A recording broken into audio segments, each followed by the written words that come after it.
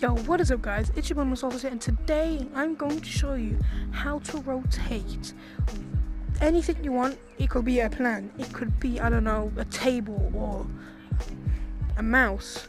I'm going to show you how to rotate.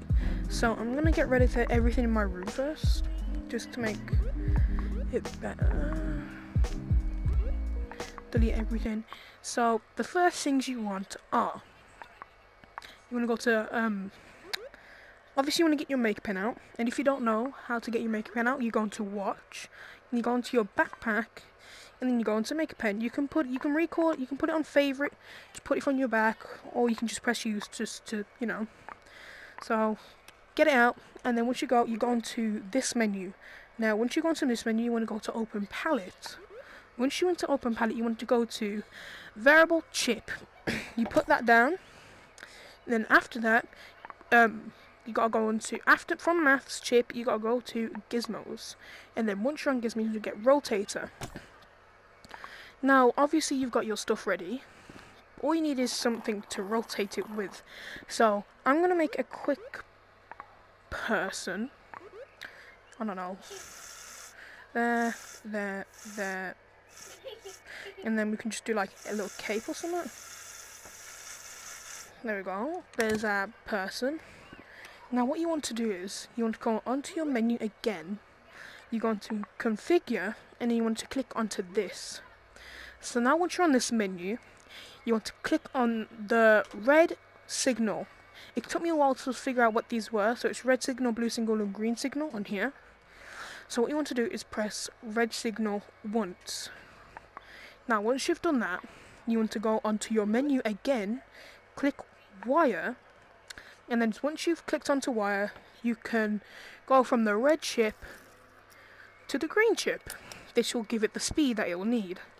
And then once you go into, go into your open palette open the menu again you go into configure click on it again. Um, press the G to start green signal obviously here. So the green signal just activates it so it will start spinning as soon as I put it on. Green signal pull that to red, and there you go, starts spinning. Now, you're wondering how to put this on. It's simple. So, go from the top here towards your object, and now it starts spinning. And now, if you want to up the speed, just go onto your menu again, configure, go onto this chip, and then I think it's red. Yeah, as you can see, the speed is picking up. You can go on to I don't know. Um, 56. Oh, oh god, um, what have I created? Alright, so, obviously, I, I hope this has helped you, so, just grab it, you can just put him in like a, there you go. There, there is your, um, spinning, whatever. Um, it's, it doesn't have to be, um, like a person, it can be anything. Let me just, get, get, stop! Wait, hold on. Get, uh, no, no, yes.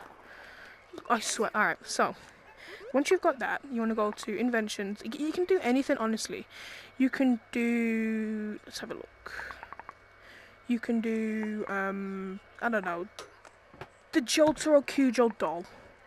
What you want to do, if you want to put him over here, just make him run around. Put this on the table, then you go to wiring, wire this, to there. See, now you got your running Jotaro Kujo. Running around. Hope this video helped. It's just a short tutorial on how to set up gizmos. I've started to use gizmos and this is starting to make my dorm room much better. I've used the gizmos for the clouds in the sky, made my own clouds.